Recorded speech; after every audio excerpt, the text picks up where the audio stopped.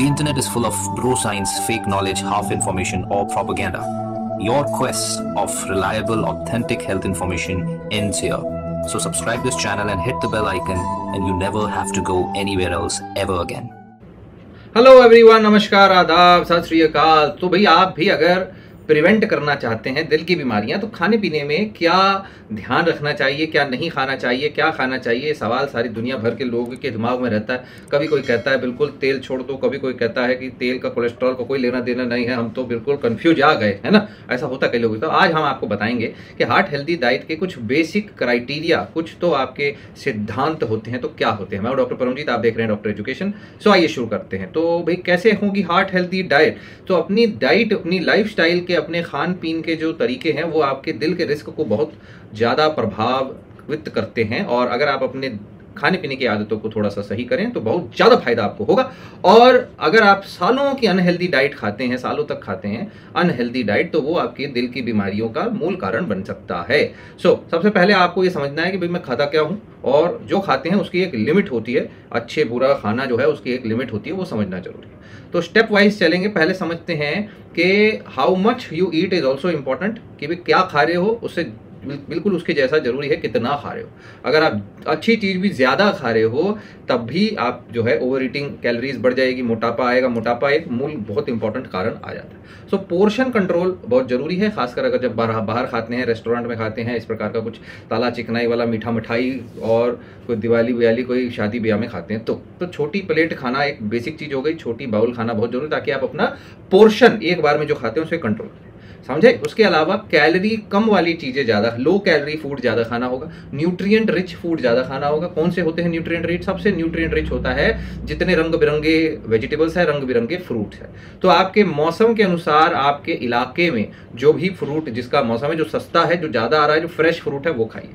ठीक है? और अगर कोई हाई कैलरी फ्रूट है high calorie high sodium high मीठा मिठाई प्रोसेस फास्ट फ़ूड है तो उसकी जितनी कम क्वांटिटी खाएँगे, उतना अच्छा। स्मॉल अमाउंट ओनली तो ये हो गया आपका क्या होगा? सिद्धांत। अब कितना खाना चाहिए उसका कोई ऐसे मेजर नहीं है टेक्निकली है ना? तो आपको अपने वज़न हाइट और अपने दिनचर्या के हिसाब से देखना है कि भाई जितना खाते हैं उससे थोड़ा कम खा लें। रिकमेंडेशन ये बोलती है कि भाई आप अपने स्पेसिफिक साइज़ को जज करना होगा आपने। एक तरीके से कि भाई आप आपका वीकनेस भी ना आए, आप बहुत ज़्यादा तेज़ी से वज़न लूज भी ना करें और बहुत ज़्यादा कमज़ोरी भी ना महसूस करें। तो एक अंदाज़ा आपको स्लोली स्लोली आएगा बट अल्टीमेटली पहले से थोड़ा थोड़ा मतलब कम करते जाइए। समझे? किसको? पोर्शन को। कितना खाना है उसको? फ्रूट्स एंड वेजिटेबल्स जो है, ये आपके सबसे अच्छे दोस्त हैं। Fruits and vegetables are good sources of vitamin and minerals और उसके अंदर कैलरी भी कम होती है, उसके अंदर डाइटरी फाइबर भी बहुत बढ़िया होता है, जो आपके कितने दुनिया भर के बेनिफिट उसमें आपको मिल जाएँगे। कोलेस्ट्रॉल कम करना, आपको ऑक्सीडेटिव स्ट्रेस से बचाना हार्ट की बीमारी से बचाना शुगर से बचाना बीपी से बचाना बता बहुत बहुत बहुत बहुत तो खाना ज़रूरी है। फ्रूट्स एंड वेजिटेबल जो है, आप ज़रूर ज़रूर खाएँ और इससे आपका पेट भी भरेगा तो आप उल्टी सीधी चीज़ें कम खाएँगे, है ना? आपको अगर कोई चीज़ खाना है मीट खाना है आप कुछ स्नैक्स खाना है तो उसकी जगह फ्रूट्स एंड वेजिटेबल ज़्यादा अच्छे चॉइसेस हैं। आप फ्रूट्स और वेजिटेबल्स यानी कि सलाद और पकी हुई सब्ज़ियाँ भी इसमें काउंट होती हैं, तली हुई नहीं, पकी हुई, ठीक है? और जो फ्रेश फ्रूट है, वो बहुत ज़रूरी है। तो ज़रूर ज़रूर ज़रूर उसको आप करिए और आप उसे काट के भी रख सकते हैं वेजिटेबल्स को अपने फ्रिज में कि भाई जब भूख लगे रात में या सलाद काट के रख लिया, फल फ्रूट काट के रख लिया दो चार घंटे में खा लिया। ऐसा नहीं, काट के रखें, तीन दिन तक कोई कोई देख नहीं रहा। वो ना करें ऐसा, ठीक है? वो खराब हो जाते हैं, फ़ायदा कुछ नहीं फ्रेश काटें तो उससे बेटर तो कुछ ही नहीं है। बट काटने वाला चाहिए, कई लोग काटना नहीं, काट के मिलता नहीं तो खाते नहीं। तो ऐसा भी ना करें, ठीक है? तो कौन से फ्रूट खाएँ, कौन से वेजिटेबल खाएँ, जितने फ्रेश फ्रूट होंगे, उतना ज़्यादा अच्छा है, ठीक है? जितना फ्रोजन ज़रूरी नहीं है फ्रोजन ज़्यादा बेटर नहीं है, पर नहीं अवेलेबल है तो क्या कर सकते है ना? और low sodium canned fruits vegetables लिया जा सकता है। कैंड वेजिटेबल्स और फ्रूट्स जो हैं वो थोड़े सेकंड चॉइस हो गया। फ्रेश फ्रूट सबसे बेस्ट चॉइस है। वेजिटेबल्स में आप जितनी भी आपकी आ, कोई इस प्रकार की वेजिटेबल्स हैं जिसको फ्राई किया गया है जिसमें क्रीम डाला गया है जिसके अंदर सिरप्स डाले गए फ्रूट वेजिटेबल्स या कैंड फ्रूट जिसमें शक्कर वक्कर डाली मीठे लग रहे हैं वो आप बिल्कुल लिमिटेड मात्रा में खाएँ।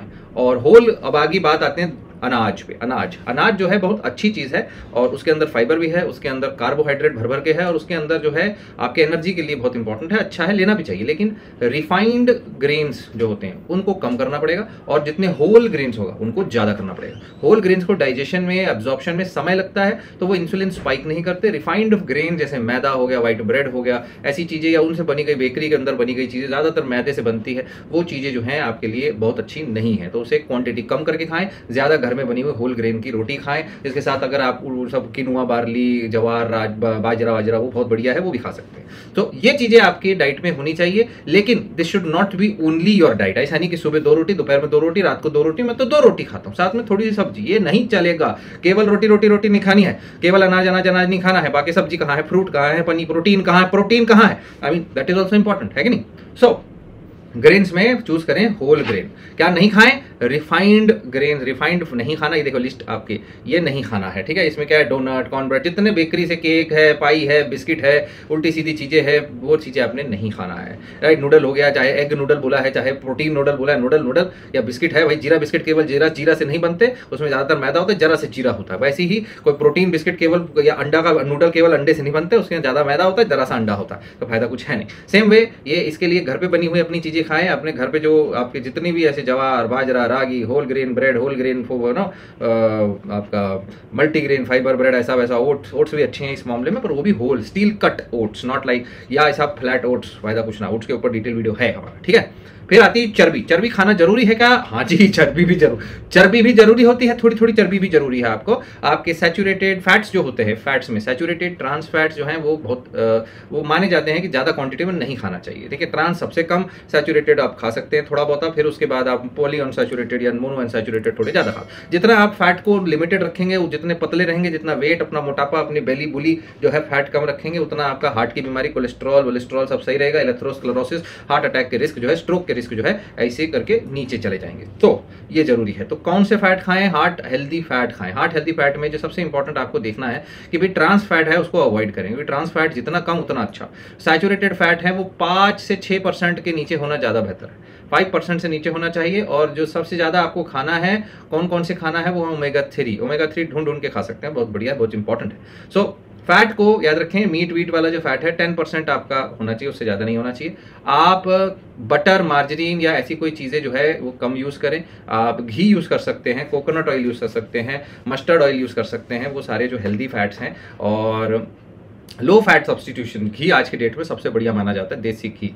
ओके सो ये ज़रूर ध्यान में रखें हार्ट हेल्दी है लेकिन इसका मतलब नहीं घी में तल तल के पूरियाँ खा रहे हैं। ना जी ना क्वांटिटी कम ही रखनी दस परसेंट से कम ठीक है? और फ़ूड जो भी आप बाहर से खरीदते हैं उसको जैसे कोई अगर चिप्स खरीदते हैं क्रैकर खरीदते हैं तो उसको पढ़ लो। वो काय में तला है उसमें कोई ट्रांस फैट तो नहीं है। अगर तो उसमें आ, ऐसी कोई लिखा हुआ तल के बना हुआ है फ्राइड है तो ना ही खाएँ तो बेहतर है। और खाएँ भी तो बहुत कम क्वांटिटी में। ट्रांस फैट्स जो हैं अलाउड ही नहीं है, वो लिस्टेड हो सकते हैं कि वो ट्रांसफैट की जगह लिख दे पार्शियली हाइड्रोजनेटेड ऑयल ऐसा भी लिखा हो सकता है तो लेबल पढ़ना और इसके बारे में नॉलेज होना थोड़ा ज़रूरी हो जाता है। तो कौन सा फैट चूज़ करें? देखिए, इसमें एक तो ऑलिव ऑयल कनोला ऑयल ये ऑयल ज़्यादा अच्छे हैं। Vegetables and nut oils are also fine but in limited quantity ये जो है मार्जरीन ट्रांस फैट फ्री होने चाहिए। कोलेस्ट्रॉल लोवरिंग में आपके कई सारे एवेकाडो ऑयल कह लो नट्स एंड सीड्स ऑयल वो भी आप यूज़ कर सकते हैं, लेकिन लिमिटेड क्वांटिटी है ज़्यादा क्वांटिटी में ना यूज़ करें, क्योंकि नट्स और सीड्स वाले जो ऑयल्स हैं, उनके ओमेगा सिक्स का रेशियो ज़्यादा है तो ओमेगा सिक्स बहुत ज़्यादा क्वांटिटी में नहीं जाना चाहिए आपके शरीर में।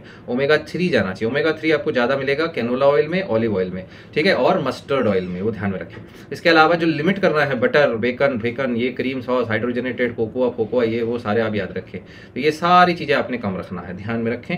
उसके बाद गुड फैट्स आपको मिलेंगे, जो मैंने अभी बताया आपको। अच्छी अच्छी जगहों से ghee is one of the best source आप ध्यान में रखें।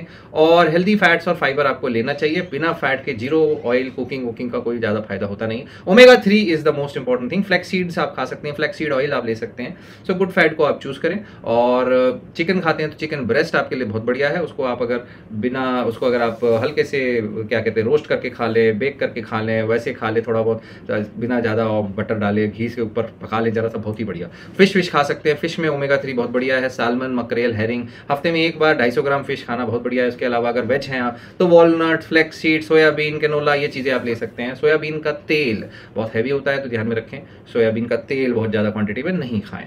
अल्टीमेटली तेल कम से कम यूज़ करें, ज़्यादा अच्छा है। उसके अलावा दाल, यानी प्रोटीन बहुत ज़रूरी है आपके दिल के लिए। सो प्रोटीन में आपके पास में वेजिटेरियन ऑप्शन है नॉन वेजिटेरियन ऑप्शन है दालें जो है बीन्स पीस दालें लेंटिल्स ये बहुत अच्छे लो फैट सोर्सेज हैं प्रोटीन के बट इसके अंदर काब्स भी होते हैं तो quantity again portion control important है। और अगर आप काब्स कम करना चाहते हैं या वेजिटेरियन के साथ नॉन वेज खाते हैं तो नॉन वेजिटेरियन प्रोटीन यूज़ कर सकते हैं। इसमें जैसे मैंने बताया, कई सारी फैक्टर्स हैं। चिकन ब्रेस्ट में कम फैट होता है चिकन थाई लेग पीस ऐसी चीज़ों में ज़्यादा फैट है। तो फैट प्लस बनाने का तरीका डेढ़ सौ गुना ज़्यादा फैट बढ़ा सकता है तो आप उसको तरीके से बनाएँ घर में, ज़्यादा अच्छा है। तो प्रोटीन कौन सा चूज़ करना है?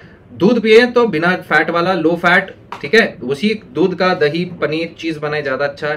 अंडे खा सकते हैं, अंडे हेल्दी है। फ़िश खा सकते हैं फैटी फ़िश भी खा सकते हैं। सैलमन सुलमन उसमें ओमेगा थ्री बहुत बढ़िया है। पोल्ट्री यानी कि चिकन खा सकते हैं, दालें ले सकते हैं सोयाबीन ले सकते हैं टोफू ले सकते हैं लीन ग्राउंडेड मीट्स ले सकते हैं। और क्या नहीं खाना है? फुल क्रीम मिल्क नहीं लेना है, या क्वान्टिटी कम रखें। और ऑर्गन मीट्स जैसे लिवर हो गया, या फिर कोई और बेकन हो गए फ्राइड मीट हो गया, वो सब नहीं लेना है। और अगर आपका वज़न कम है या आपको कोई और ऐसी बीमारी है कि वज़न आपका बढ़ाना चाहते हैं, तब आप फुल क्रीम मिल्क या ऐसी चीज़ ले सकते हैं, मगर वो भी क्वांटिटी अपने डॉक्टर से पूछ के। सॉल्ट नमकीन चीज़ें खाने में बहुत शौकीन लोग, नमक तो ऐसा खाते पता नहीं चलता उनको बाहर की जितनी पैकेट में भरी चीज़ है, खट, मीठी नहीं है तो नमक है, ठीक है? Too much namak can lead to blood pressure high blood pressure is a risk for heart problem heart disease यानी सस्टेन्ड हाई ब्लड प्रेशर तो आपको लिमिट करना होगा अपना नमक का intake limiting is very very important normal आदमी को बोला जाता है, एक ज़िंदगी में अपने 2.3 ग्राम्स यानी कि 2300 मिलीग्राम से ज़्यादा ना खाएँ। ये कितना होता है? एक चम्मच नमक होता है। और अगर आप लो सॉल्ट बोलते हैं, ठीक है? लो सॉल्ट बोलते हैं तो वो लो सॉल्ट में आपको डेढ़ हज़ार मिलीग्राम खाना चाहिए, ठीक है? ज़्यादा एडल्ट को उससे ज़्यादा की ज़रूरत नहीं होती है, ठीक है? सो उतना ही खाएँ, यानी डेढ़ से ढाई मैक्सिमम 2.3 ग्राम्स आप खा सकते हैं। नमक कौन सा लें? नमक, भाई, नमक के भी बथेरी चीज़ें हैं, और नमक नॉट लाइक बाज़ार में मिला हुआ नमक नमक आपको कहाँ कहाँ से मिलेगा, ये समझना ज़रूरी है। कहाँ से मिलेगा, जिसमें हाई सॉल्ट है टेबल सॉल्ट अपने आप में एक इंपॉर्टेंट कैंड में बंद जितनी भी चीज़ें हैं, और टमाटो जूस हो गया केचप हो गया मेनीज हो गया सोया सॉस हो गया, या रेस्टोरेंट में बनी हुई चीज़ें, उसमें नमक बहुत होता है। और जो लो सॉल्ट वाली चीज़ें हैं जितने भी आपके घर में स्पाइसेस है हर्ब्स है लो सॉल्ट सीजनिंग है वो चीज़ें आप ले सकते हैं। सो so, ध्यान में रखें लो सॉल्ट हाई सॉल्ट समझाना ज़रूरी है। सो so, नमक कैसे कम करें? बाहर की चीज़ें प्रोसेस चीज़ें पैकेट में बंद चीज़ें मिनिमाइज करें बंद करें। बैड है आपके लिए खूंखार है आपके लिए। और कैन वाले कैन में बंद चीज़ों को भी उसके लेबल पढ़ के देखें कि भाई कम नमक में बनी है कि नहीं। कम नमक है तो उसकी एक्सपायरी भी शॉर्ट होगी। ज़्यादा नमक है तो वो शेल्फ लाइफ बढ़ जाती है। इसलिए लोग ज़्यादा नमक डाल देते हैं याद रखें। टेबल सॉल्ट भी आपके सी सॉल्ट दोनों एक बराबर है। टेबल सॉल्ट ले रहे हैं हिमालयन रॉक सॉल्ट ले रहे हैं वो सॉल्ट ले रहे हैं ये सॉल्ट उनमें कोई ज़्यादा फ़र्क नहीं है। उन्नीस बीस का फ़र्क है दोनों में नमक इतना ही है याद रखेंगे। आ, उतना इतना है कि आयोडीन आयोडाइज नमक हो वो ज़रूरी है नहीं तो थायराइड का रिस्क बढ़ जाता है। तो सॉल्ट के सब्सटीट्यूट्स भी यूज़ किए जा सकते हैं अगर आप नमक ज़्यादा खाते हैं तो। जैसे कि आप विनेगर ले सकते हैं आप नींबू ले सकते हैं ऐसी चीज़ें। So take the first step अपना एक इंपॉर्टेंट अपनी लाइफ को असेस करिए कि इन सारी चीज़ों में गड़बड़ कहाँ कर रहे हैं डाइट में। सो so, खाने के लिए सबसे इंपॉर्टेंट आपको ध्यान रखना है कि सब्ज़ियाँ वेजिटेबल्स फ्रूट्स आप खा रहे हैं रोज़ाना। होल ग्रेन खा रहे हैं रिफाइंड चीज़ें नहीं, और प्रोटीन खा रहे हैं, नमक वाली मीठी और शक्करी चीज़ें कम खा रहे हैं और प्रोटीन अपना पूरा कर रहे हैं। और स्नैक्स जो हैं, वो आपके लिए बहुत इंपॉर्टेंट स्नैक्स को पैकेज स्नैक्स को बंद करके फ्रूट्स एंड वेजिटेबल्स पे शिफ्ट करेंगे तो उससे बेटर कुछ नहीं है, याद रखें। कैंडी बार हो गया, ये उल्टी सीधी चीज़ें हो गई पोटैटो चिप्स हो गई ये आपके रिस्क बढ़ा देते हैं तो याद रखें। इवन कोल्ड ड्रिंक्स वो सब आपके रिस्क बढ़ा देते हैं एम टी कैलरीज हैं और कुछ नहीं है। So eating healthy food is very very very important हाथ हेल्दी डाइट आपके कर भी सकते हैं ईजिली और इन्जॉयबल भी बना सकते हैं। ऐसा नहीं कि उबला ही खाना पड़ेगा please understand so please share this video आपको पसंद आया तो ऐसा ऐसा इसको दो बारी लाइक का बटन दबा के शेयर कर देना। दो बारी नहीं, तीन बारी दबाने से नहीं कि दबाया, फिर अनलाइक हो गया। फ़ायदा क्या होगा? All right thank you so much this doctor Paramjit stay connected stay healthy